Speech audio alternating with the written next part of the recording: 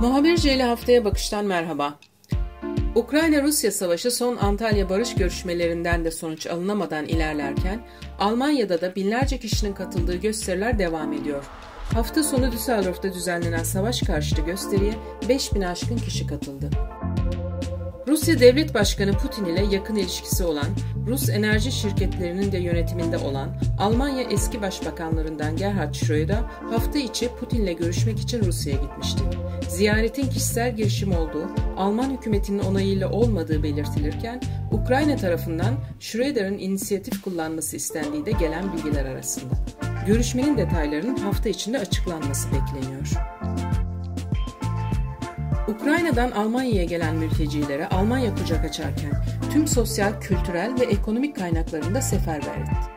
Ukraynalıların geldikleri ilk günden itibaren ekonomik, barınma, oturma izni, sağlık, eğitim gibi hiçbir alanda mağdur olmamaları için jet hızıyla değişiklikler yapılıyor, bürokratik engeller olabildiğince bertaraf edilmeye çalışılıyor. Bu arada Almanya'da savaş dolayısıyla Rus kültürü ve Rus vatandaşlarına yönelik artan olumsuz eylemlere Berlin'deki Rus Büyükelçiliği tepki gösterdi.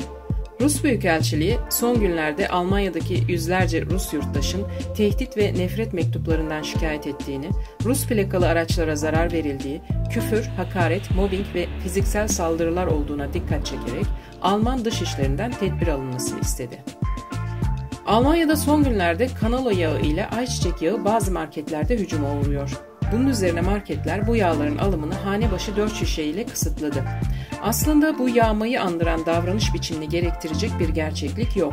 Market raflarının boşalma nedeni stokta yağ olmaması değil, müşterilerin gerek dayanıksız asparagas haberler gerekse bilinçsizlik yüzünden raflara hücum etmesi ve anlık raf boşalmasına neden olması. Kimileri bunu Ukrayna-Rusya savaşına bağlarken aslında sorun korona dönemindeki tedarik sıkıntısı, artan üretim maliyetleri ve bunun tüketici fiyatlarına yansıması gibi farklı parametrelerin bir araya gelmesine bağlı. Bunun yanı sıra ürün kalitesizliği, verimsiz hasat, bazı üreticilerin piyasadan çekilmesi gibi nedenler de var.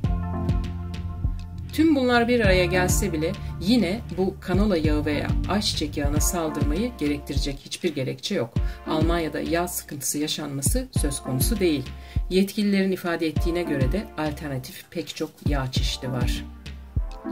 Bu arada eBay satış platformunda bazı fırsatçıların marketlerde satılan ayçiçek yağını şişesini tükendi bulunmuyor reklamlarıyla 20 eurodan satışa sundukları görüldü. Stokçuluk, kara borsacılık ve fırsatçılığa dikkat çekmek gerekiyor. Dortmund'da İslam Kültür Derneği adı altında irticai faaliyetler gösteren bir organizasyon yasaklandı. Kuzey Ren-Vesfalya Eyaleti İçişleri Bakanlığı, Dortmund Nordstadt'ta bir cami derneğine İslamcı bir organizasyon olduğu, anayasaya aykırı faaliyetlerde bulunduğu ve işi de eleman temin ettiği gerekçesiyle baskın düzenleyerek yasakladı. Örgütün önde gelenlerin evlerine de baskın düzenlenerek bilgisayarlarına çeşitli maddi varlıklarına el kondu, internet sayfaları kapatıldı. Ruhr bölgesinde özellikle Esen merkezli çetelere düzenlenen baskınla da tamirci, böcek ilaçlama, anahtarcı gibi kisvelerle insanların evlerine girip dolandırıcılık yapan pek çoğu da sabıkalı şahıslar yakalandı.